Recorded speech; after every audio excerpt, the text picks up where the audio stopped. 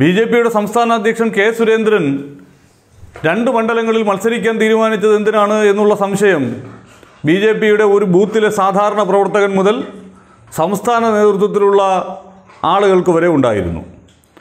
ആർക്കും ഇതുവരെയും എന്തിനായിരുന്നു രണ്ടിടങ്ങളിലും മത്സരിച്ച് തോക്കുന്നത് എന്നുള്ള ആ സംശയത്തിന് മാന്യമായ ഒരു ഉത്തരം കിട്ടിയിട്ടുമില്ല. പക്ഷേ ഇപ്പോൾ അതിനുള്ള ഉത്തരം കിട്ടിത്തുടങ്ങുകയാണ്. കോന്നിയിലും മഞ്ചേശ്വരത്തുമായി ഹെലികോപ്റ്ററിൽ സുരേന്ദ്രൻ ട്രിപ്പടിച്ചത് കോടിക്കണക്കിന് കുഴൽപ്പണം കടത്താൻ വേണ്ടിയായിരുന്നു എന്നുള്ള സംശയം ബലപ്പെടുകയാണ്. അങ്ങനെ ഒരു സംശയം ഉള്ളതുകൊണ്ട് തന്നെ സുരേന്ദ്രൻ സഞ്ചരിച്ചിരുന്ന ഹെലികോപ്റ്ററിന്റെ പൈലറ്റിനെ ചോദ്യം ചെയ്യാനാണ് കൊടകര കുഴൽപ്പണ കേസ് അന്വേഷിക്കുന്ന കേരള പോലീസിന്റെ പ്രത്യേക അന്വേഷണ സംഘം തീരുമാനിച്ചിരിക്കുന്നത്. ഈ കേസുമായി ബന്ധപ്പെട്ട് പിടിയിലായ യുവമോർച്ചയുടെ മുൻ treasurer Sunil Naik R S S നേതാവായ ധർമ്മരാജൻ.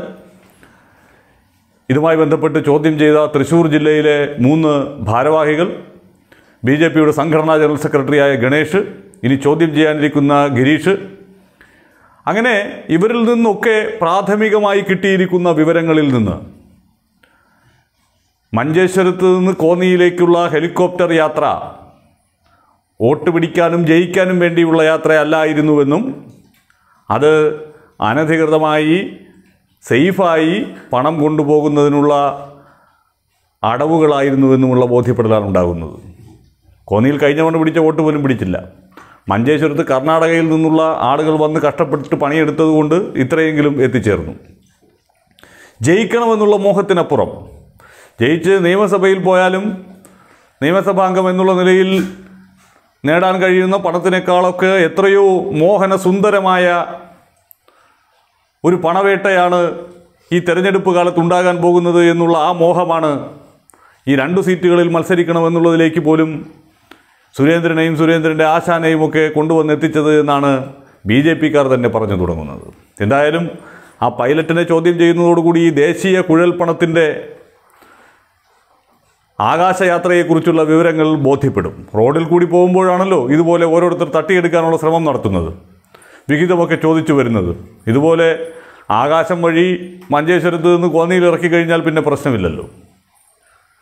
ശരിക്കു പറഞ്ഞാൽ ബി ജെ പിയിലെ ഒരു വിഭാഗം നേതാക്കൾ തന്നെ ഇപ്പോൾ ദേശീയ നേതൃത്വത്തിന് കണക്കുകളൊക്കെ നിരത്തി പരാതി നൽകിയിരിക്കുകയാണ്. നാനൂറ് കോടിയോളം രൂപ കേരളത്തിലെ നൂറ്റി നാൽപ്പത് നിയമസഭാ മണ്ഡലങ്ങളിൽ ഒരെണ്ണമെങ്കിലും ജയിച്ചു കയറുക എന്നുള്ള ആ വലിയ ആശയോടുകൂടി കേന്ദ്ര നേതൃത്വം നൽകി.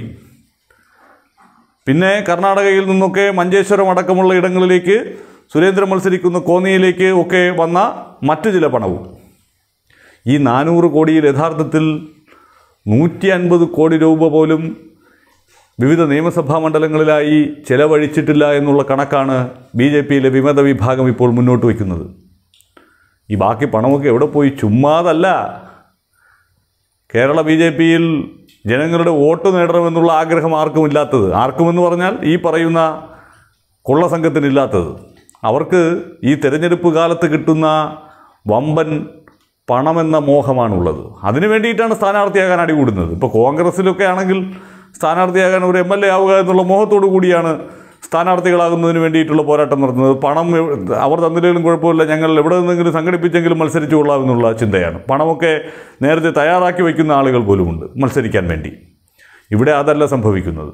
പണം ഇങ്ങോട്ട് കിട്ടാനും അത് പോക്കറ്റിലിടാനും.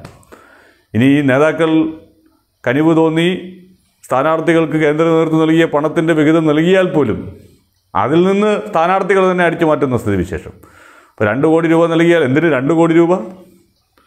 ഒരു അമ്പത് ലക്ഷം രൂപ ചിലവാക്കും ബാക്കി പോക്കറ്റിലിടും. അത് വീതിച്ചെടുത്ത് കഴിയുമ്പോൾ എങ്ങനെ പോയാലും സ്ഥാനാർത്ഥിയായി നിൽക്കുന്ന ആളിന് കിട്ടും ഒരു അൻപത് ലക്ഷം ബാക്കിയുള്ളവർക്കും കിട്ടും അതുപോലെ വിഹിതം. ലാഭമുള്ള കച്ചവടമാണ്.